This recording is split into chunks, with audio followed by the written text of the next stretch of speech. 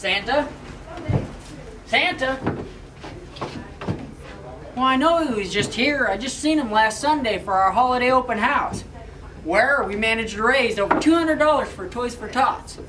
Speaking of holidays, we've still got some great gift ideas, one of which is the co-op gift card. Right? And don't forget about these, the Easy Weld Starter Kit, selling for $249.95.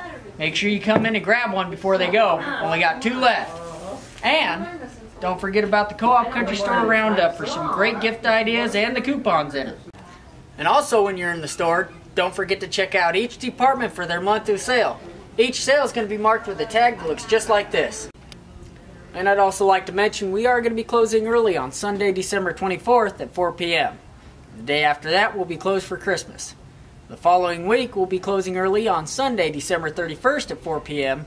And then after that we'll be closed for New Year's Day. Well, I think that's about it for now, but well, that didn't go there. what do you call a bit that's no fun? a boring bit.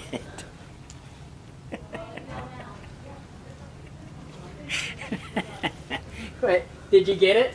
Because it's boring. Well, we'll see you next time.